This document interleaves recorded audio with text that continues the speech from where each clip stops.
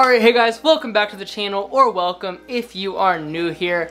Now, because you guys like this series so much, I'm coming back today with what I believe is part 6 of the aquarium reaction series. So if you don't know if this is your first time watching this series, this is where I find a whole bunch of pictures of the worst aquariums I could find and react to them live and give my little opinions on each aquarium. Now if you guys want to be part of this video, I encourage you please do not set up your worst aquarium just for this video, but if you've seen, you know, a nasty Craigslist ad with some disgusting fish tank or something on Facebook Marketplace, go ahead and send it to chewysbroaquatics at gmail.com. That email is linked in the description and I'll go ahead and try to include it on this next reaction video series, probably part 7. Now also, coming up here soon, I'm going to be doing a reacting to my subscribers aquariums.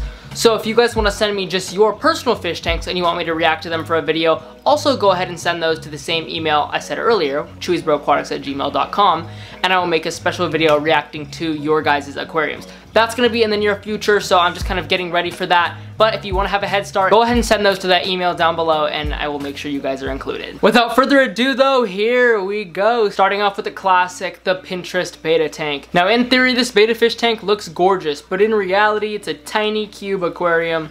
Um, not big enough for a betta fish. There's no filter, there's no heater. If you've watched these videos, you know the drill.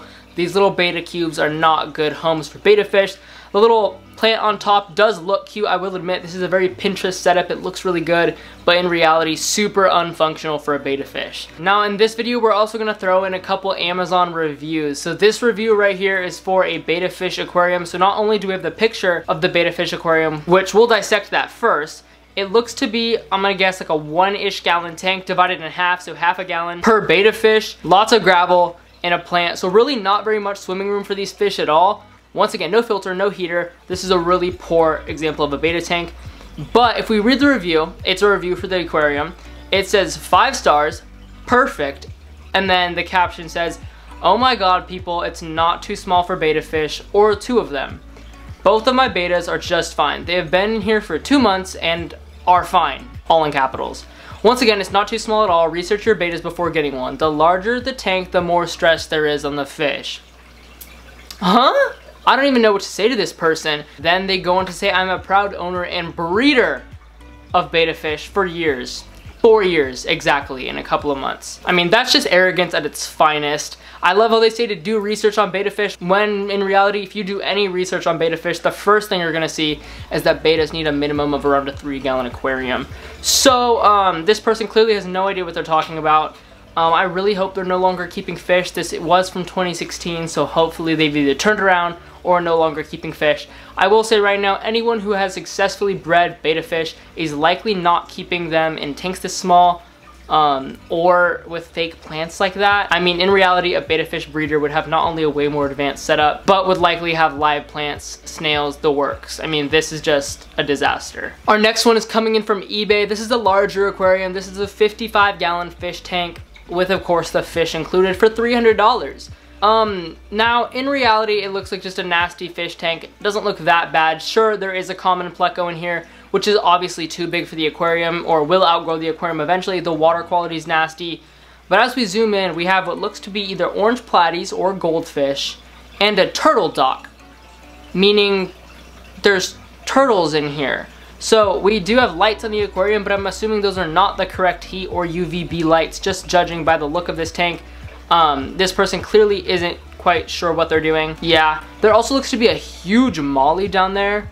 So maybe those guys are platies. I don't know. The tank is so nasty, I can't see what fish are inside it. But this is clearly not a suitable habitat for a turtle, let alone that many fish, judging by the state of the aquarium. Next up, we had to include some salt water here. Um, this is a three gallon all-in-one aquarium, meaning the filtration is in the back of the unit. But there's a lionfish in this tank. Now lionfish are huge predatory saltwater fish. They need about a minimum of a 150 gallon aquarium as they get bigger. This lionfish would probably be fine in like a 65, 75 gallon aquarium at its current size.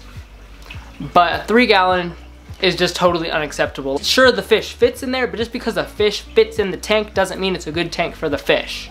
So this is just not doing your research at its finest. One more saltwater tank. Once again, not doing your research at its finest. This looks to be around a 10 or 20 gallon aquarium.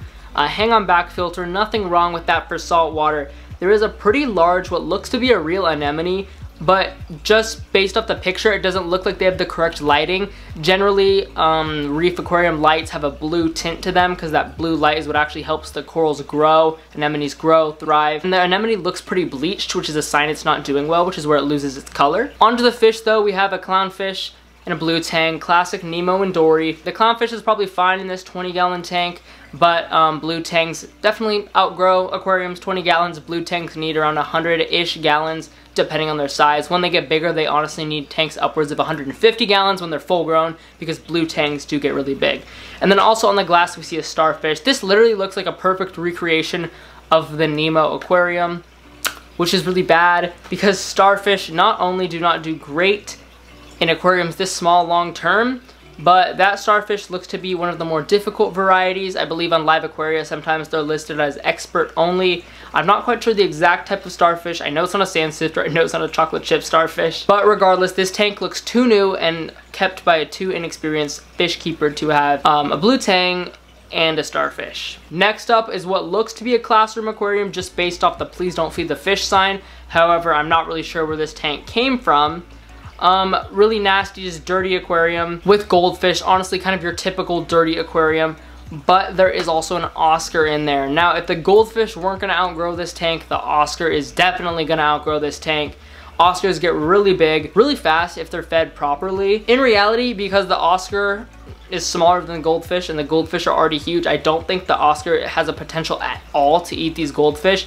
It's just generally regarded that Oscars are kind of kept by themselves and pairing them with goldfish is really rare. But in those circumstances, there should be at least an adequately sized tank that is clean involved. So this one uh, meets none of those requirements. Coming up next, looks like a saltwater tank, but based on the catfish, it might be freshwater. This tank uh, looks like it's on its last leg. So all that white stuff on the filter looks what I think is salt creep, which is where salt water splashes on something, the water evaporates, but the salt crystallizes and is left behind.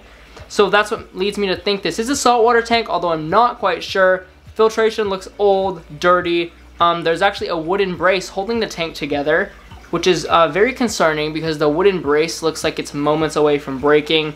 This tank is old very outdated. It's probably been up for 20 years. That fish looks huge. I'm not sure how big this aquarium is, but um, this tank needs a serious overhaul soon before the tank explodes and then you have to get a whole new home renovation. One more Amazon review here. This is for a one gallon Tetra bubbling aquarium kit.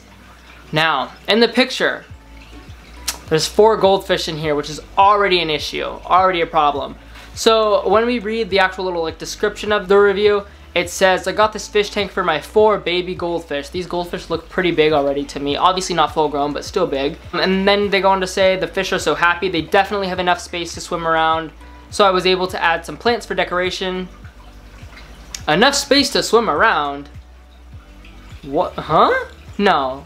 This is too small for even one goldfish. If you're keeping four goldfish this size, 29 gallon tank minimum will have to be upgraded as these goldfish get a little bit bigger. So the rest of the review is just talking about the filter, how the tank, you know, doesn't really work correctly all the time. And they like how the fish tank is small because it fits well on their desk. The whole point of a fish tank is to adequately house the fish which this is not doing. So regardless of how cute the fish tank looks, these fish are not going to last very long in a tank this small. There is a tiny filter in this aquarium, which is better than some goldfish aquariums I've seen.